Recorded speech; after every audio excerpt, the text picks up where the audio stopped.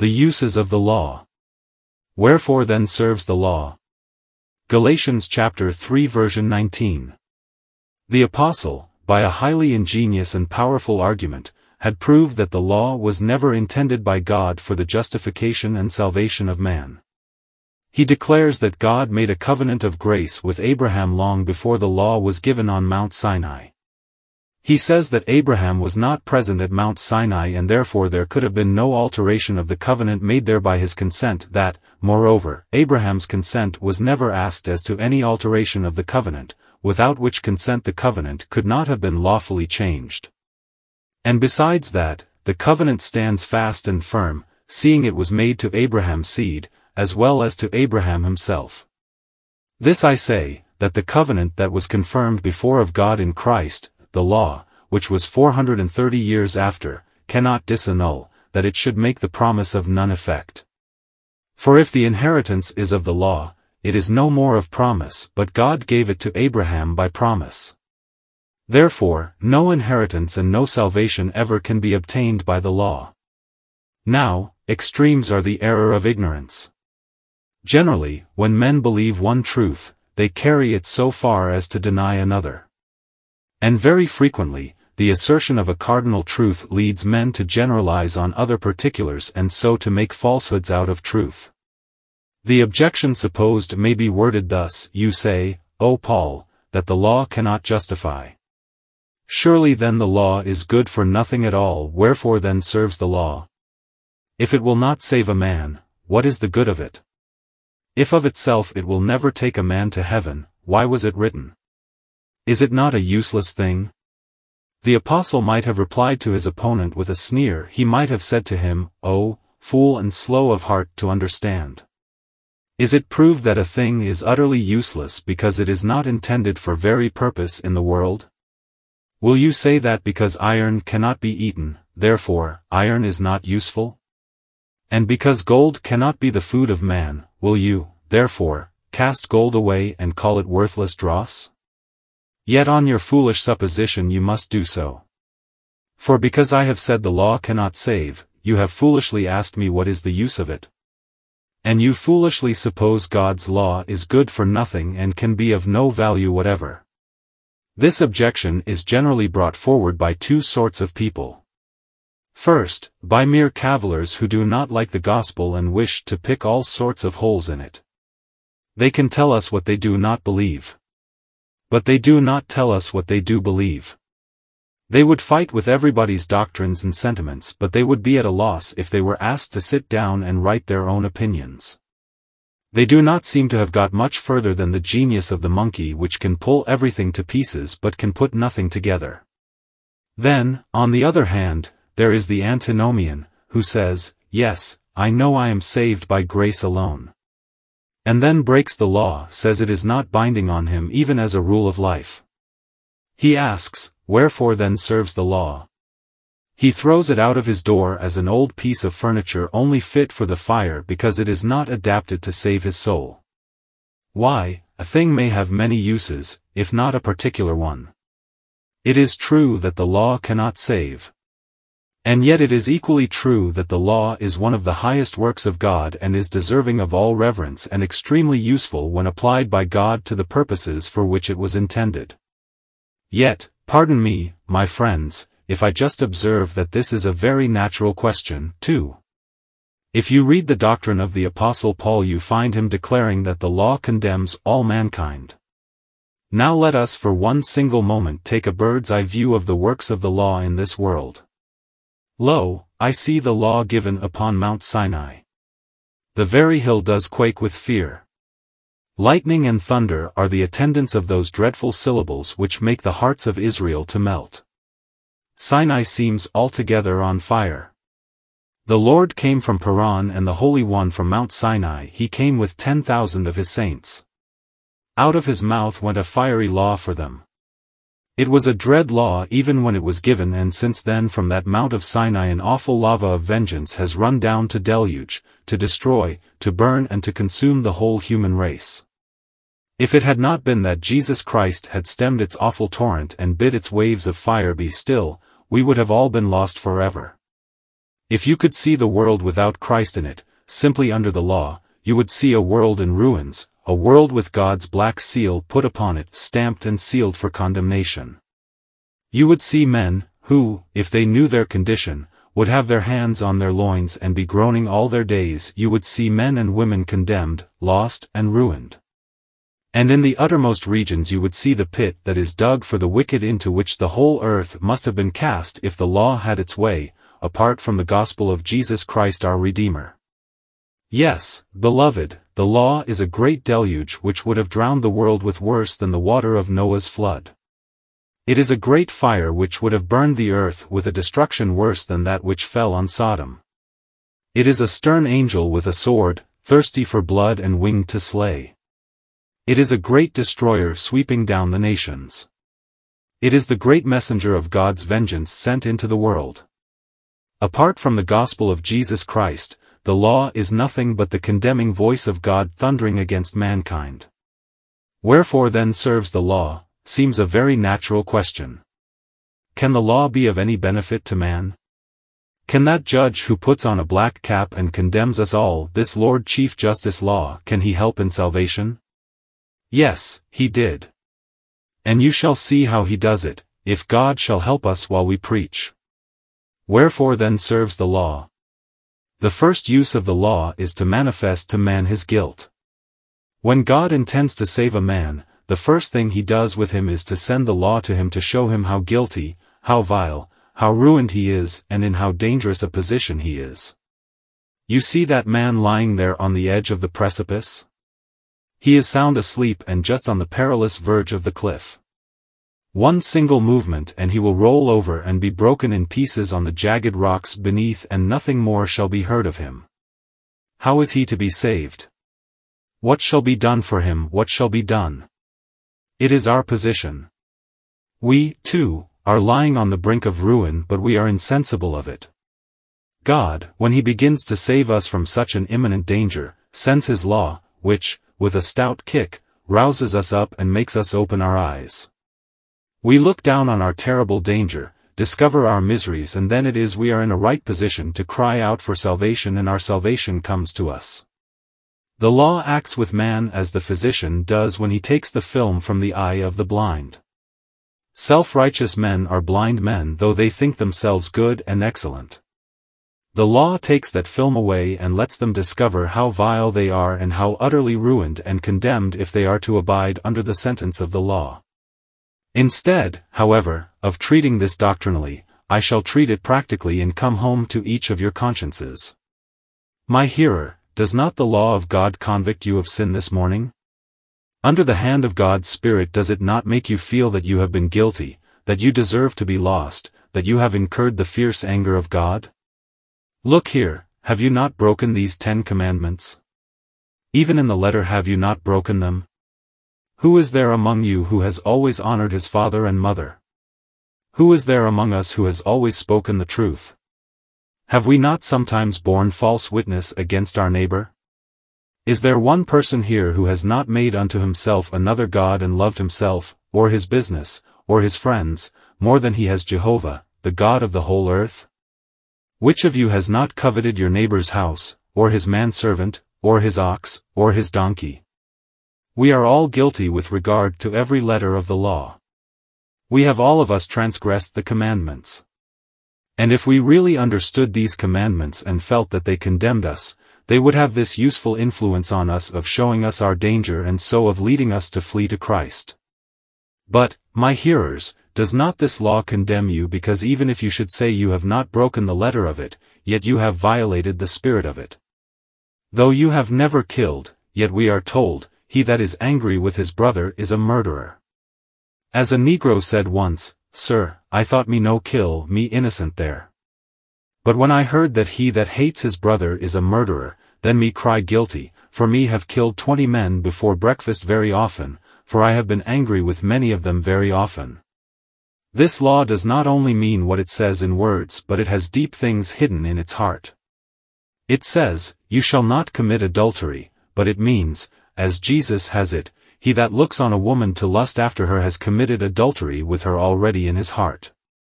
It says, You shall not take the name of the Lord your God in vain, it means that we should reverence God in every place and have his fear before our eyes and should always pay respect unto his ordinances and evermore walk in his fear and love. Yes, my brethren, surely there is not one here so foolhardy in self-righteousness as to say, I am innocent. The spirit of the law condemns us. And this is its useful property. It humbles us, makes us know we are guilty and so are we led to receive the Savior. Mark this, moreover, my dear hearers, one breach of this law is enough to condemn us forever. He that breaks the law in one point is guilty of the whole. The law demands that we should obey every command and one of them broken, the whole of them are broken. It is like a vase of surpassing workmanship, in order to destroy it you need not shiver it to atoms, make but the smallest fracture in it and you have destroyed its perfection. As it is a perfect law which we are commanded to obey and to obey perfectly, make but one breach thereof and though we are ever so innocent we can hope for nothing from the law except the voice, you are condemned, you are condemned, you are condemned. Under this aspect of the matter ought not the law to strip many of us of all our boasting? Who is there that shall rise in his place and say, Lord, I thank you I am not as other men are? Surely there cannot be one among you who can go home and say, I have tithed mint and cumin. I have kept all the commandments from my youth. No, if this law is brought home to the conscience and the heart we shall stand with the publican, saying, Lord, be merciful to me a sinner. The only reason why a man thinks he is righteous is because he does not know the law. You think you have never broken it because you do not understand it. There are some of you who are most respectable people. You think you have been so good that you can go to heaven by your own works. You would not exactly say so but you secretly think so. You have devoutly taken the sacrament, you have been mightily pious in attending your church or chapel regularly, you are good to the poor, generous and upright and you say, I shall be saved by my works. No, sir, look to the flame that Moses saw and shrink and tremble and despair. The law can do nothing for us except condemn us. The utmost it can do is to whip us out of our boasted self-righteousness and drive us to Christ. It puts a burden on our backs and makes us ask Christ to take it off. It is like a lancet, it probes the wound. It is, to use a parable, as when some dark cellar has not been opened for years and is full of all kinds of loathsome creatures. We may walk through it not knowing they are there. But the law comes, opens the shutters, lets light in and then we discover what a vile heart we have and how unholy our lives have been. And, then, instead of boasting, we are made to fall on our faces and cry, Lord, save or I perish. Oh, save me for your mercy's sake, or else I shall be cast away.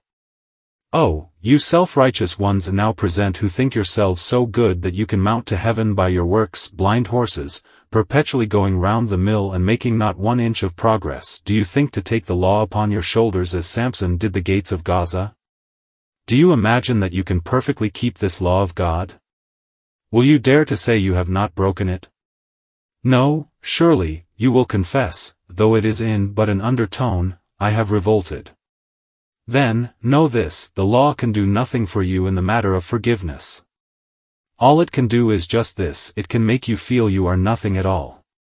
It can strip you. It can bruise you. It can kill you but it can neither quicken, nor clothe, nor cleanse, it was never meant to do that.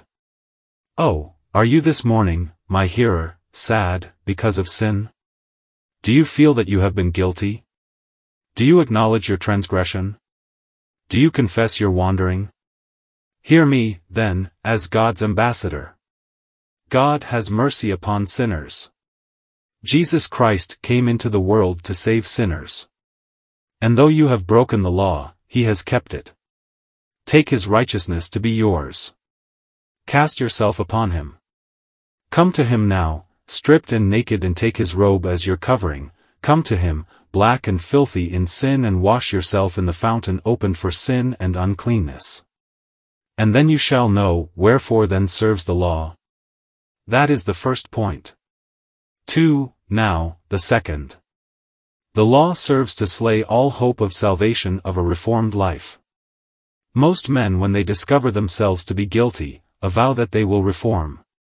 They say, I have been guilty and have deserved God's wrath but for the future I will seek to win a stock of merits which shall counterbalance all my old sins. In steps the law puts its hand on the sinner's mouth and says, Stop, you cannot do that, it is impossible. I will show you how the law does this. It does it partly, by reminding the man that future obedience can be no atonement for past guilt.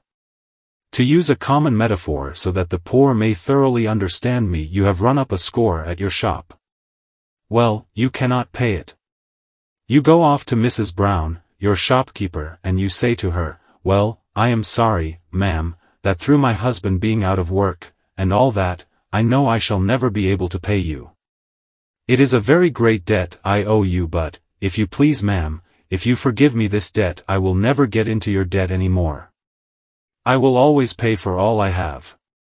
Yes, she would say, but that will not square our accounts. If you pay for all you have, it would be no more than you ought to do. But what about the old bills? How are they to be receipted? They won't be receipted by all your fresh payments. That is just what men do towards God. True, they say, I have gone far astray, I know. But then I won't do so any more. Ah, it was time you threw away such child's talk. You do but manifest your rampant folly by such a hope. Can you wipe away your transgression by future obedience? Ah, no. The old debt must be paid somehow. God's justice is inflexible and the law tells you all your requirements can make no atonement for the past. You must have an atonement through Christ Jesus the Lord. But, says the man, I will try and be better and then I think I shall have mercy given to me. Then the law steps in and says, You are going to try and keep me, are you? Why, man, you cannot do it. Perfect obedience in the future is impossible. And the Ten Commandments are held up and if any awakened sinner will but look at them, he will turn away and say, It is impossible for me to keep them.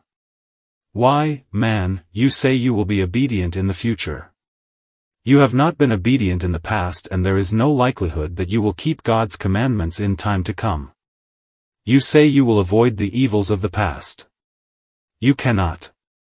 Can the Ethiopian change his skin, or the leopard his spots? Then may you also do good that are accustomed to do evil? But, you say, I will take greater heed to my ways. Sir, you will not. The temptation that overcame you yesterday will overcome you tomorrow. But, mark this, even if you could, you could not win salvation by it. The law tells you that unless you perfectly obey you cannot be saved by your doings. It tells you that one sin will make a flaw in it all, that one transgression will spoil your whole obedience. It is a spotless garment that you must wear in heaven. It is only an unbroken law which God can accept. So, then, the law answers this purpose to tell men that their acquirements, their talk and their doings are of no use whatever in the matter of salvation. It is theirs to come to Christ, to get a new heart and a right spirit, to get the evangelical repentance which needs not to be repented of that so they may put their trust in Jesus and receive pardon through his blood. Wherefore then serves the law? It serves this purpose, as Luther has it, the purpose of a hammer. Luther, you know, is very strong on the subject of the law. He says, For if any be not a murderer, an adulterer, a thief and outwardly refrain from sin, as the Pharisee did, which is mentioned in the Gospel, he would swear that he is righteous and therefore he conceives an opinion of righteousness and presumes of his good works and merits. Such a one God cannot otherwise mollify and humble, that he may acknowledge his misery and damnation but by the law for that is the hammer of death, the thundering of hell and the lightning of God's wrath that beats to powder the obstinate and senseless hypocrites. For as long as the opinion of righteousness abides in man, so long there abides also in him incomprehensible pride, presumption, security, hatred of God, contempt of his grace and mercy, ignorance of the promises and of Christ. The preaching of free remission of sins, through Christ, cannot enter into the heart of such an one, neither can he feel any taste or savour thereof. For that mighty rock and adamant wall, to wit, the opinion of righteousness, wherewith the heart is environed, does resist it. Wherefore the law is that hammer, that fire, that mighty strong wind and that terrible earthquake rending the mountains and breaking the rocks, 1 Kings chapter 19 version 11, 12, 13. That is to say, the proud and obstinate hypocrites. Elijah, not being able to abide these terrors of the law, which by these things are signified, covered his face with his mantle. Notwithstanding, when the tempest ceased, of which he was a beholder, there came a soft and a gracious wind in the which the Lord was. But it behooved that the tempest of fire, of wind, and the earthquake should pass before the Lord should reveal himself in that gracious wind. 3. And now, a step further. You that know the grace of God can follow me in this next step. The law is intended to show man the misery which will fall upon him through his sin. I speak from experience, and many of you who hear me will hear this with ears of attention because you have felt the same. There was a time with me, when but young in years, I felt with much sorrow the evil of sin. My bones waxed old with roaring all day long. Day and night God's hand was heavy upon me. There was a time when he seared me with visions and frightened me by dreams. By day I hungered for deliverance, for my soul fasted within me I feared lest the very skies should fall upon me and crush my guilty soul. God's law had got hold upon me and was showing me my misery. If I slept at night I dreamed of the bottomless pit and when I awoke I seemed to feel the misery I had dreamed. Up to God's house I went. My song was but a groan. To my chamber I retired and there with tears and groans, I offered up my prayer without a hope and without a refuge. I could then say with David, the owl is my partner and the bittern is my companion, for God's law was flogging me with its ten-thronged whip and then rubbing me with brine afterwards. I did shake and quiver with pain and anguish and my soul chose strangling rather than life for I was exceeding sorrowful. Some of you have felt the same. The law was sent on purpose to do that. But, you will ask, why that misery? I answer that misery was sent for this reason that I might then be made to cry to Jesus. Our Heavenly Father does not usually make us seek Jesus till He has whipped us clean out of all our confidences. He cannot make us in earnest after heaven till He has made us feel something of the intolerable tortures of an aching conscience which is a foretaste of hell. Do you not remember, my hearer, when you used to awake in the morning and the first thing you took up was Alleine's alarm, or Baxter's call to the unconverted? Oh, those books, those books in my childhood I read and devoured them when under a sense of guilt. But they were like sitting at the foot of Sinai. When I turned to Baxter, I found him saying some such things as these, Sinner, do you know within an hour you may be in hell? Do you know you may soon be dying? Death is even now gnawing at your cheek. What will you do when you stand before the bar of God without a Savior? Will you tell him you had no time to spend on religion? Will not that empty excuse melt into thin air? Oh, sinner, will you, then, dare to insult your Maker? Will you, then, dare to scoff at him? Think. The flames of hell are hot and the wrath of God is heavy. Were your bones of steel and your ribs of brass, you might still quiver with fear. Oh, had you the strength of a giant, you could not wrestle with the Most High. What will you do when he shall tear you in pieces and there shall be none to deliver you? What will you do when he shall fire off his ten great guns at you?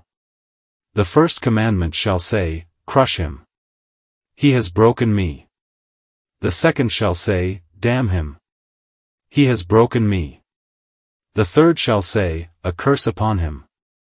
He has broken me. And so shall they all fly upon you and you without a shelter, without a place to flee to and without a hope. Ah, you have not forgotten the days when no hymn seemed suitable to you but the one that began. Stoop down my soul that used to rise. Converse a while with death. Think how a gasping mortal lies.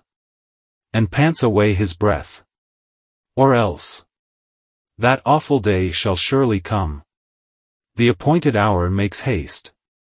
When I must stand before my judge. And pass the solemn test. Yes, that was why the law was sent to convict us of sin to make us shake and shiver before God. Oh, you that are self-righteous, let me speak to you this morning with just a word or two of terrible and burning earnestness. Remember, sirs, the day is coming when a crowd more vast than this shall be assembled on the plains of earth. When on a great white throne the Saviour, Judge of men, shall sit. Now he is come. The book is opened.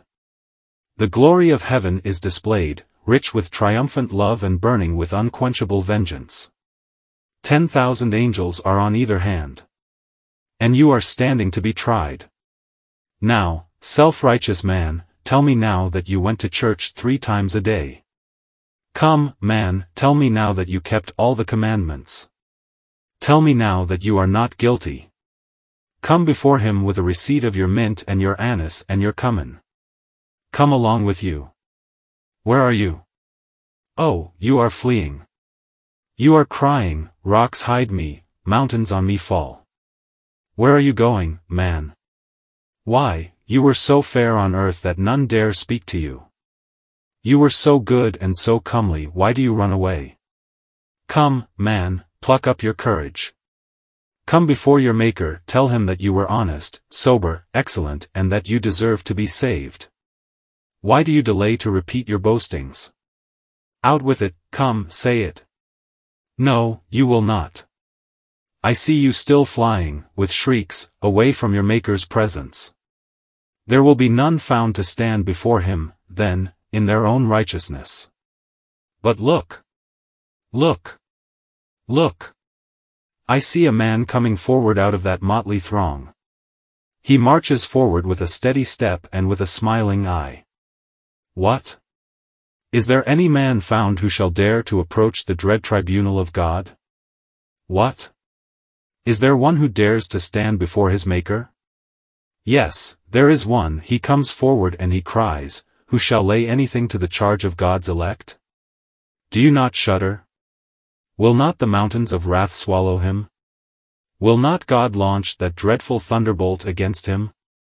No, listen while he confidently proceeds, Who is he that condemns? It is Christ that died. Yes, rather, that has risen again. And I see the right hand of God outstretched, Come, you blessed, enter the kingdom prepared for you. Now is fulfilled the verse which you once sweetly sang. Bold shall I stand in that great day. For who anything to my charge shall lay? While, through your blood, absolved I am. From sin's tremendous curse and shame. For, and now, my dear friends, I am afraid of wearying you.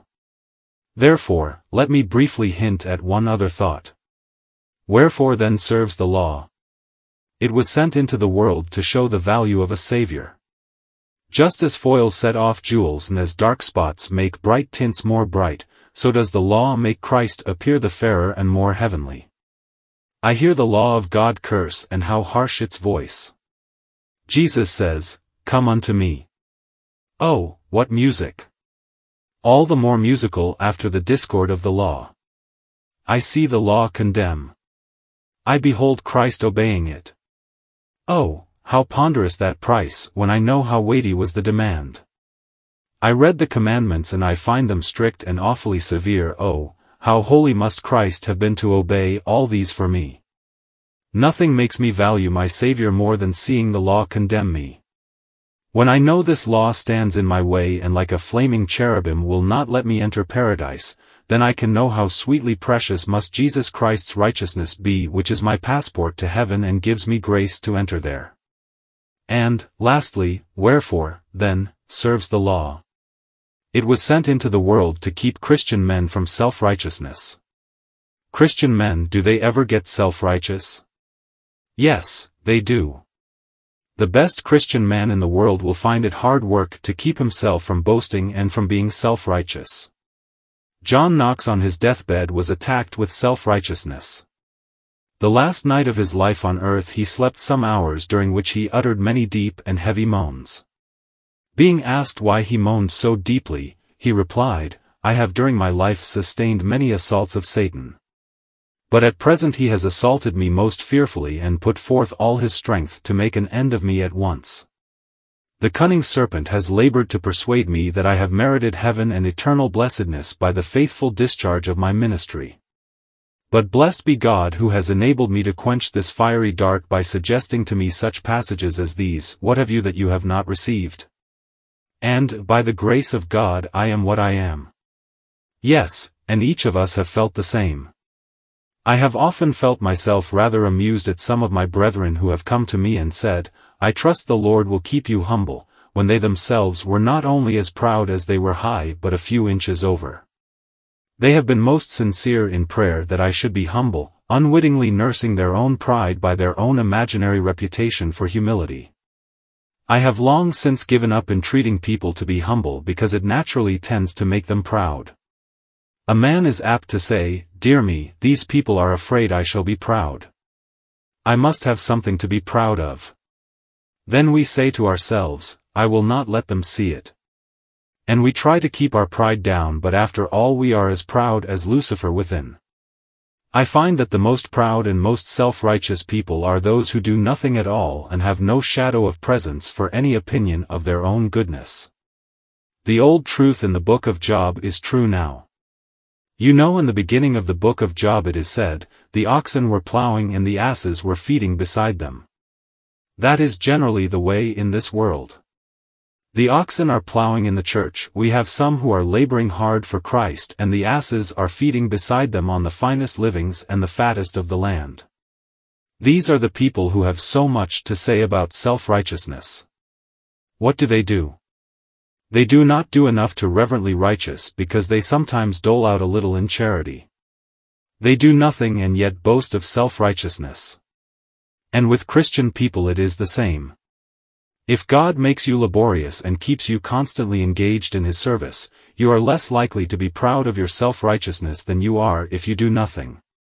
But at all times there is a natural tendency to it. Therefore, God has written the law that when we read it we may see our faults. That when we look into it, as into a looking glass, we may see the impurities in our flesh and have reason to abhor ourselves in sackcloth and ashes and still cry to Jesus for mercy. Use the law in this fashion and in no other.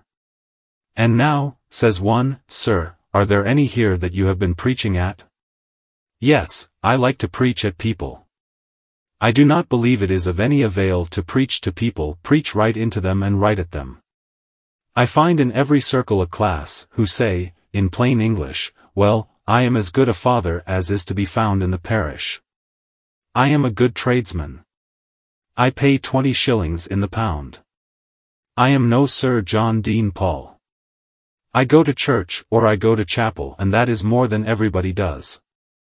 I pay my subscriptions, I subscribe to the infirmary. I say my prayers. Therefore, I believe I stand as good a chance of heaven as anybody in the world. I do believe that three out of four of the people of London think something of that sort. Now, if that is the ground of your trust, you have a rotten hope. You have a plank to stand upon that will not bear your weight in the day of God's account as the Lord my God lives, before whom I stand, unless your righteousness exceed the righteousness of the scribes and Pharisees, you shall in no wise enter into the kingdom of heaven.